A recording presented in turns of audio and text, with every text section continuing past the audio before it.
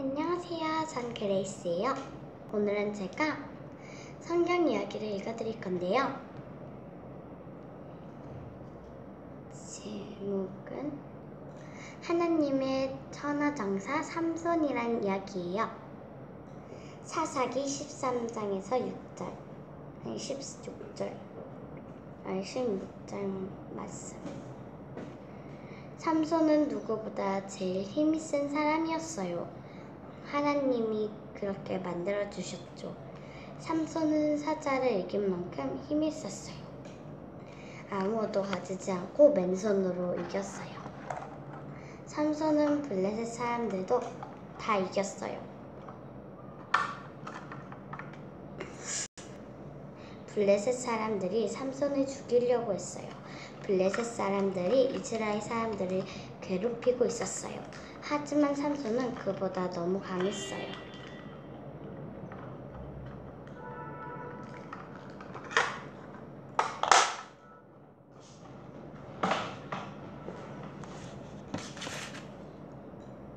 제가 하고 싶은 대로 할래요. 삼손은 하나님이 기뻐하지 않는 일을 했어요. 삼손은 부모님 말씀도 듣지 않았어요. 삼손은 자기 자신을 아프게 만든 일이었어요. 어느 날 삼손은 드릴라라는 블레셋 여자를 좋아하게 되었어요. 드릴라에게 블레셋 사람들이 찾아왔어요. 삼손의 힘이 없애는 방법을 알아내겠다면 많은 돈을 주겠다. 드릴라는 삼손을 매일매일 졸랐어요.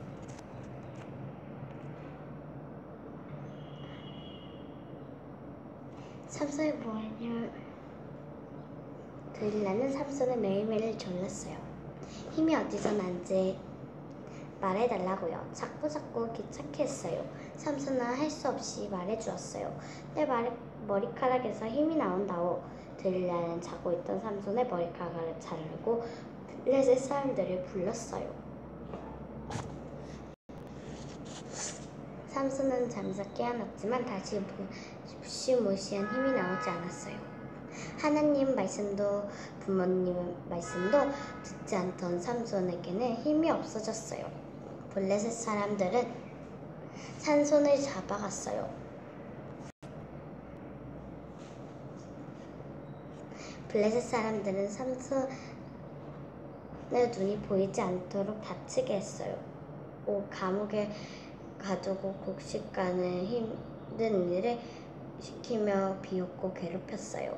삼손은 그동안 잘못을 뉘우치고 그런 사이에 조금씩 삼손 머리카락은 자랐어요. 어느 날 블레셋 사람들이 자기들을 믿는 우상을 섬기려고 거대한 신전에 모였어요. 잔치를 벌이던 블레셋 사람들이 삼손을 불어내렸어요. 삼손, 너를 묶은 밧줄이라도 한번 끊어보라고. 하하하, 삼손은 그동안 잘못을 뉘우치고 하나님께 기도했어요. 하나님, 저에게 한 번 더 힘을 주세요. 제 눈을 멀게 하고 이스라엘 백성들을 괴롭히는 저 블레셋 사람들을 혼주, 혼내주게 해주세요. 그러자 삼손의 몸에서는 힘이 다시 생겨났어요. 삼손은 신전 전체를 받치고 있는 두 기둥을 붙잡았어요. 그리고 힘껏 밀었어요. 그러자 기둥이 무너졌어요. 지붕이 무너졌어요. 신전 안에 있던 사람들은 위로 무너졌어요.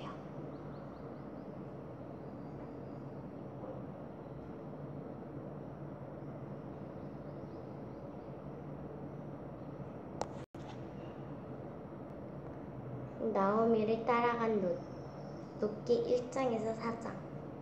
나는 집으로 갈 란다. 나오미가 말했어요. 옛날에 고향 베들레헴이 큰 흉당이 들어 나오는 남편과 아들 둘이 데리고 멀리 모여 앞땅으로 이사 왔어요. 나오미는 이제 할머니가 되었어요. 남편과 아이들도 모두 먼저 하늘나라로 보냈어요. 슬픈 일을 겪었어요.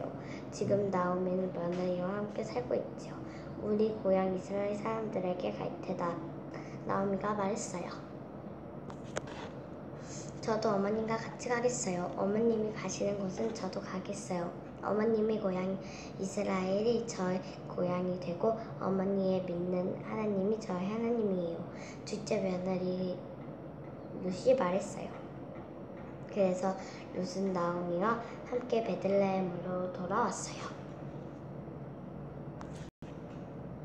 룻은 어머니 나오미와 함께 먹을 음, 먹을 음식을 장만해야 했어요. 나오미가 돌아온 베들레헴은 마침 수, 수수가 시작되는 때였어요.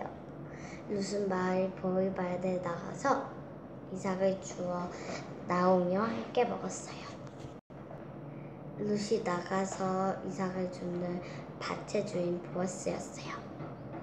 시어머니를 저렇게 정성을 다해서 섬기다니 룻은 정말 착한 여자군 보아스는 생각했어요. 루아스, 룻은 부지런히 이삭을 주었어요.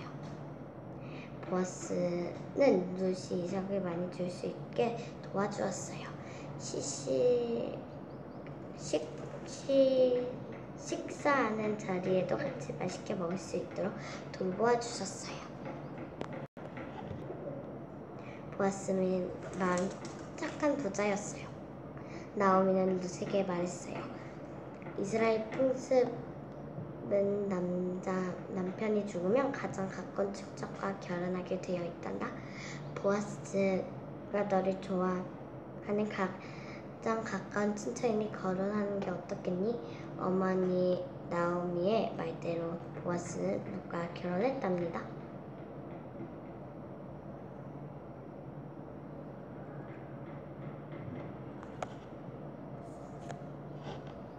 하나님은 룻에게 오베지라는 남자를 남자 아기를 선물해 주셨어요. 할머니 나오미와 룻은 가정은 정말 행복했어요. 착한 며느리 룻에게 하나님이 주신 축복일 거예요.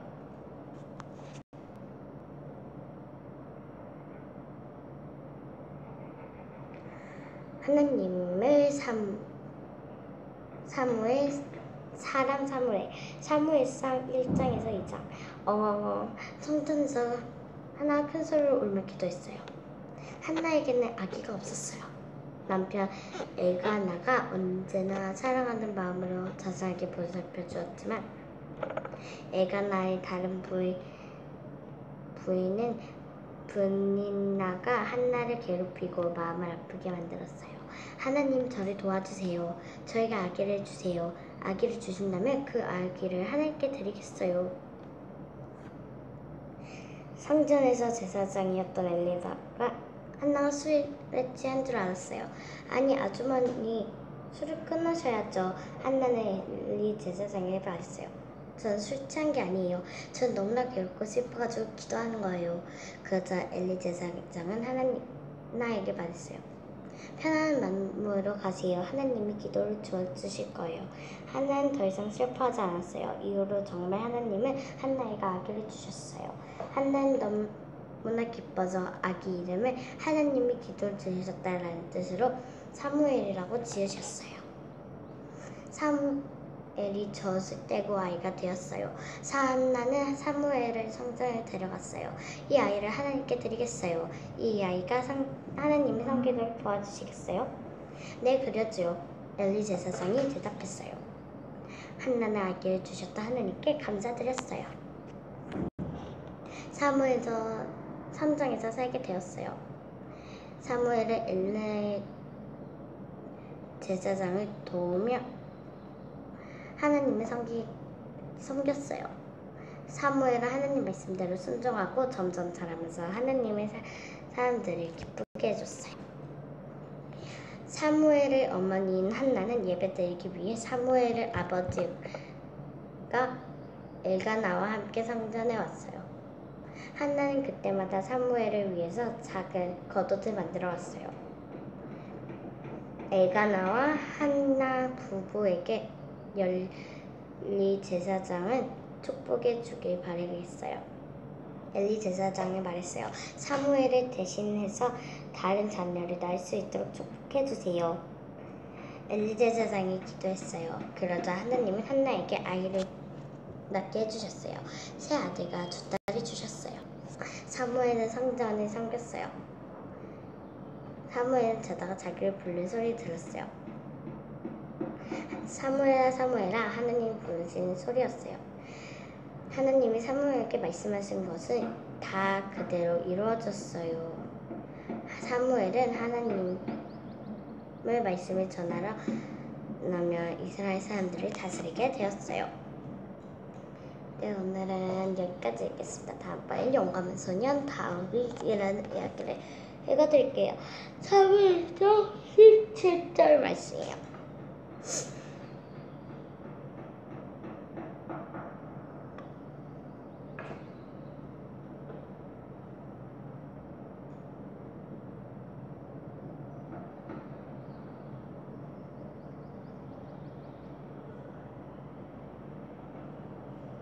네. 음.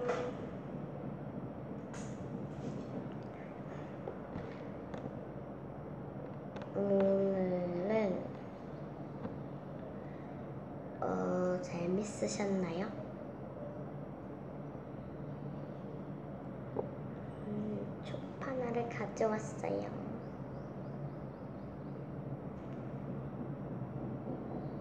초밥 하나 가져왔어요. 한 초밥. 알초밥이에요. 어, 어, 떨어진다, 떨어진다. 빨리 먹을게요.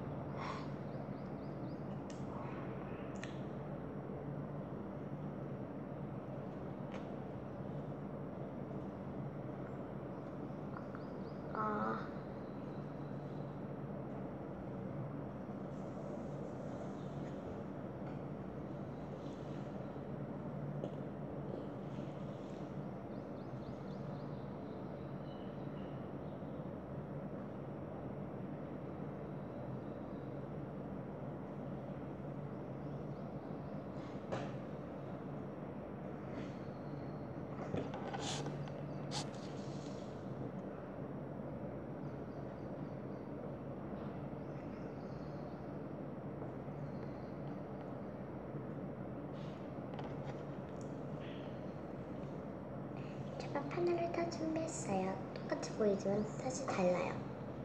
어, 떨어진다, 떨어진다. 빨리 먹을게요. 알부터.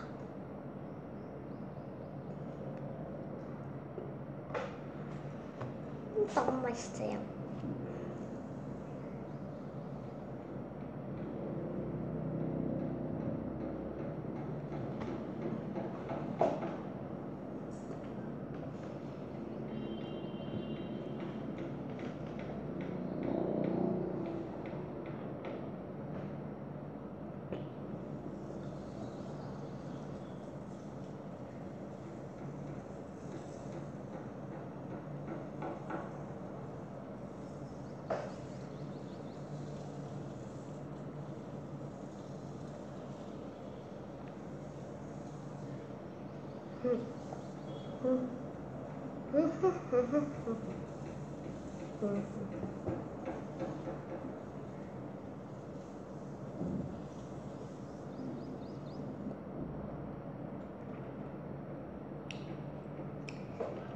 엄청 맛있어요.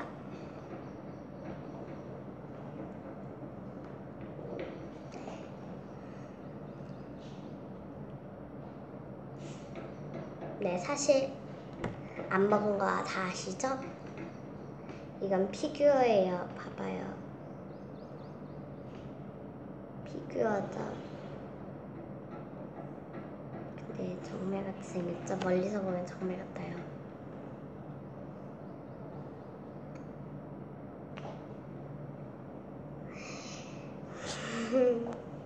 제가 좋아하는 피규어예요. 이게 원래 여기 동그라미 안에 자석이 들어있어야 되는데 자석이 빠져가지고 제가 피규어 같이 보관하고 있어요. 장식품 같이. 근데 이게 페인트가 잘 보시면 빨간 부분 있죠? 이게 왜 이럴까요? 네, 다음번엔 더 재밌는 성경 이야기를 읽어드릴게요. 안녕. 안녕.